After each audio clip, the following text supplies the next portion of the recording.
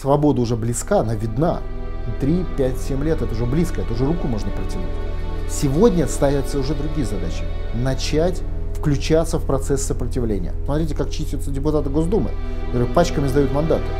Это все элемент э, вот этого технологии огонь по штабам. И дальше процесс сверху и процесс снизу должен соединиться. Должен соединиться.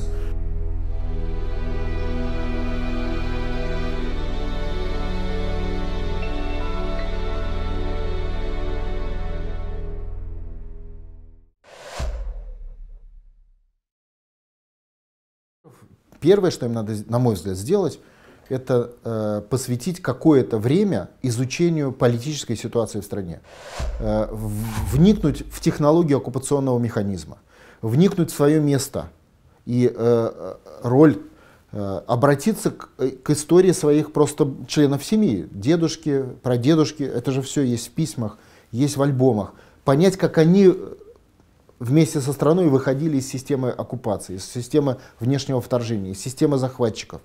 Потому что опыт, он всегда одинаковый. Опереться на своих предков. Идеологически, психологически, а главное умственно. То есть понять, главное понять процесс, понять проблему, оценить эту проблему, понять, что телевизор это сплошная технология вранья с утра до вечера. Там вы никогда не услышите ни слова правды, в принципе. Потому что эта правда будет, даже если есть, она обвязана вокруг, сбалансирована куча лжи. Вот это первый этап. И второй этап, поскольку свобода уже близка, она видна, 3, 5, 7 лет это уже близко, это уже руку можно протянуть, э, то уже можно и включаться в конкретные технологии этой. Вот если бы мы с вами говорили лет 5 назад, я бы сказал, сохранить силы, просто выжить, остаться русским человеком в условиях уничтожения тебя как личности. Сегодня ставятся уже другие задачи. Начать включаться в процесс сопротивления. Находить технологию этого процесса. Да, наверху Путин как национальный лидер, внизу миллионы людей, между ними предательство элит. Это есть. Но уже начинает срабатывать технология вот пробивки этой прокладки между национальным лидером и массой людей. Она начинает размывать эту прокладку. Эта прокладка начинает колебаться. В ней, там идут свои процессы. Посмотрите, как чистятся депутаты Госдумы, которые пачками сдают мандаты.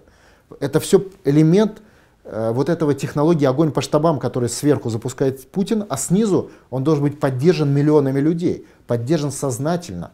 Это должно быть э, механизм взаимодействия, то есть технологии поддержки Путина, я это сразу говорю. То есть э, надо смотреть на него, на национального лидера, но при этом надо понимать вещи. То есть вот вам говорит телевизор, вы должны сразу включили, что там сегодня вам наврут. И сразу вы делаете обратные выводы. Да? То есть вам пытаются рассказать какую-нибудь гадость, а вы понимаете это в обратном ключе. Наши предки это умели еще недавно. Между строк читали, читали 25 лет назад всего лишь. Спросите у родителей. Они же знали, как читать газету «Правда» между строк. То есть э, мозги-то есть. Надо просто начать ими пользоваться. И дальше процесс сверху и процесс снизу должен соединиться. Он соединится в конечном итоге, конечно, внешне на улицах. Но это будет организованный процесс, и организованный Путиным. Вот как он был. Вот условно, когда Путин поднял людей на Поклонную площадь, надо было приходить. Люди не пришли. Ну, то есть пришло мало, да. Вот эти процессы должны быть, э, а он же был организован. Если бы на Поклонную площадь пришло 3 миллиона человек, мы бы уже были свободной страной. Только, только, только через, через мозг, да, только через осознание, через опыт своих дедов и прадедов. Э, то есть к этому надо быть готовым. Личная школа.